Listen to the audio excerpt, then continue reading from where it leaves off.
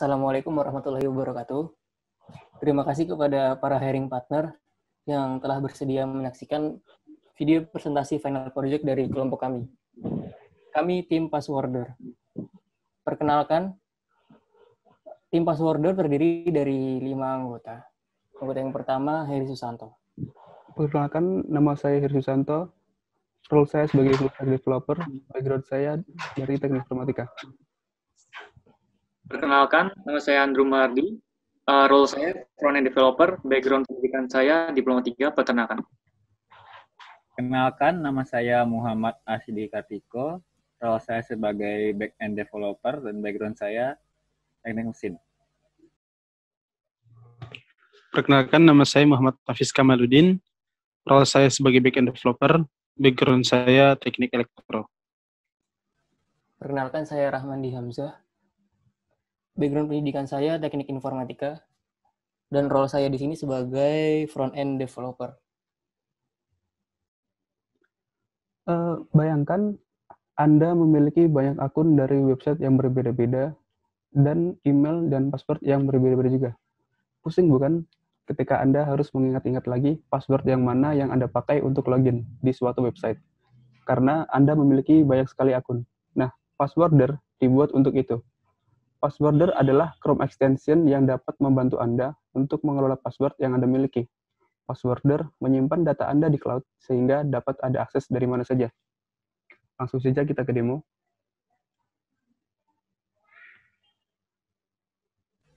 Oke, alangkah, alangkah baiknya sebelum melakukan demo, kita melakukan tes terlebih dahulu.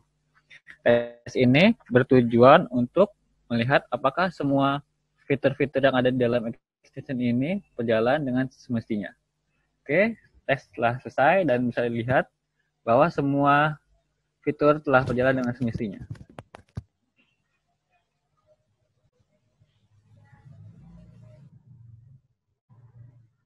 Nah, kemudian kita langsung demo ke aplikasinya. Yang pertama, kita akan demokan tentang extension-nya. Nah, di sini saya sudah punya halaman login GitHub. Dan informasinya saja di sebelah kanan. Sebelumnya, saya login terlebih dahulu.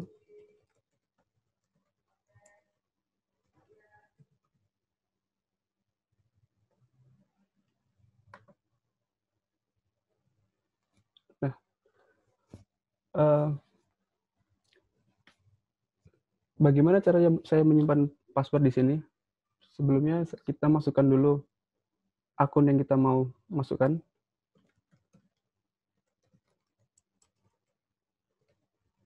Nah, nanti secara otomatis akan terdeteksi oleh passworder. Nah, kemudian tinggal kita save. Ketika sudah kita save, ketika kita tutup browser atau kita reload browsernya, nanti secara otomatis kredensial tersebut akan terisi. Nah, seperti ini. Lanjut ke demo front-end. Oke, selanjutnya ini merupakan halaman website dari Passworder. Sebelumnya kita coba masuk dulu dengan akun yang dipakai sama dengan uh, yang dipakai di extension yang sebelumnya dipresentasikan. Jadi halaman website ini digunakan untuk memanage uh, password yang sudah disimpan oleh user sebelumnya. Bisa dilihat tadi uh, di extension user sudah menyimpan password dari GitHub. Bisa dilihat detailnya di sini. Dan uh, ketika user ingin melihat password yang sudah disimpan tadi, Uh, user harus memasukkan uh, OTP code yang sudah disimpan eh sudah dikirim ke uh, nomor handphone yang telah didaftarkan sebelumnya. Di sini uh, kode yang sudah masuk di nomor handphone user adalah adalah ini. Ketika sudah betul uh, OTP code yang dimasukkan user, maka akan terbuka uh, password yang sudah disimpan user. User juga bisa uh, menyembunyikan password tersebut kembali seperti ini. Uh, selain itu, user juga bisa uh, mengupdate atau edit password yang sudah disimpan seperti ini. Atau user bisa uh, menghapus password yang sudah disimpan sebelumnya. Seperti itu. Ya, uh, di sini ada diagram aplikasi kita passworder. Di sini terdiri dari extensionnya, kemudian di sini ada kliennya yaitu laman web page-nya, kemudian di sini adalah uh, blog servernya. Nah, kemudian ketika user masuk ke laman suatu website, misalkan ke laman GitHub, kemudian dia ingin login, maka dia bisa menyimpan password tersebut. Extension akan aktif, kemudian dia uh, bisa menyimpan data dalam server, kemudian server menyimpan data ke database. Kemudian ketika dia ingin login kembali, ingin login kembali, dia bisa si extension ini merequest ke server password yang sudah tersimpan di server. Misalkan dia sudah login ke akun GitHub dan dia ingin menyimpan, setelah dia menyimpan passwordnya, dia ingin meminta agar sehingga langsung auto gitu tanpa dia harus mengetikkan kembali gitu. Kemudian dia server akan mengambil dari database, kemudian akan di, dikirim password dari laman website tersebut ke uh, browser. Seperti itu. Uh, kemudian ketika dia ingin memanage passwordnya di websitenya pas, passworder, dia melakukan request ke server, mem memasukkan data ke server, kemudian server memasukkan data ke database, Kemudian ketika dia ingin melihat semua passwordnya, maka server akan mengirim password-password yang dimiliki oleh user tersebut.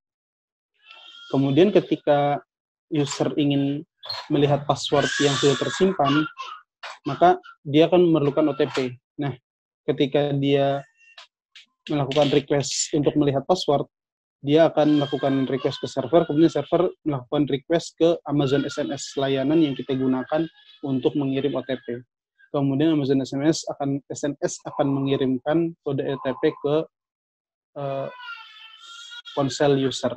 Masuklah ke SMS. Kemudian user memasukkan kode OTP yang sudah diterima di ponsel, kemudian dimasukkan ke web browser dan dia dan user pun bisa melihat password yang sudah dia simpan. Nah, sekian kurang lebihnya. Terima kasih. Oke, selanjutnya saya akan menjelaskan teks-teks yang kita gunakan dalam aplikasi ini. Dalam password sendiri, untuk di backend-nya, ada di bagian atas ini. Yang akan saya jelaskan terlebih dahulu, mulai dari atas sebelah kiri. Express.js.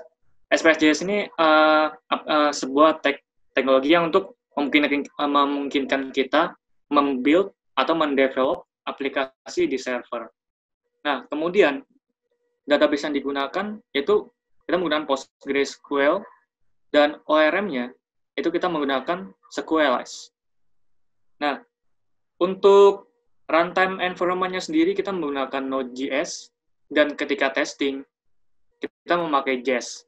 Nah, kita juga terdapat, uh, terdapat case handling yang itu kita menggunakan Redis.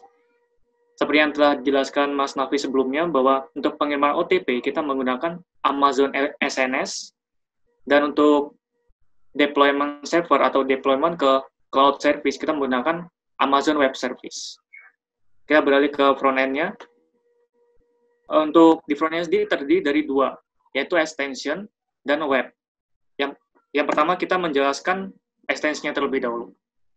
Extension menggunakan jQuery dan Bulma untuk development kliennya. Sedang kita menggunakan React untuk development kliennya dan untuk UI, untuk desain stylingnya kita menggunakan React Strap dan Bootstrap. Di sisi klien juga kita melakukan deployment dan deploymentnya kita kan menggunakan Firebase hosting. Sekian dari saya. Eh, baik, eh, demikian tadi presentasi eh, final project yang bisa kita sampaikan. Saya mewakili seluruh tim Passworder menyampaikan terima kasih atas eh, ketersediaan seluruh ring partner dan rekan-rekan semua untuk menyaksikan video presentasi final project dari eh, kelompok kami. Terima kasih dan mohon maaf jika ada salah-salah kata. Wassalamualaikum warahmatullahi wabarakatuh.